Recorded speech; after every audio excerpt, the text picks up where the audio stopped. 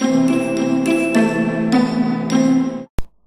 friends today we will learn how to calculate a power of uh, any number with uh, the help of a calculator.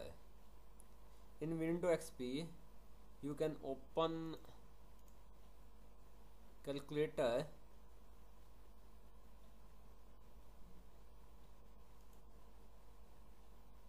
in its view you will you have to see scientific.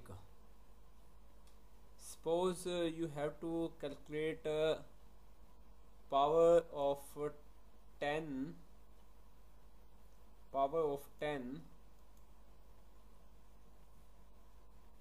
and number is 10 and its power uh, 2 then answer is 100 if we take uh, 5 and its power 3 it will surely uh,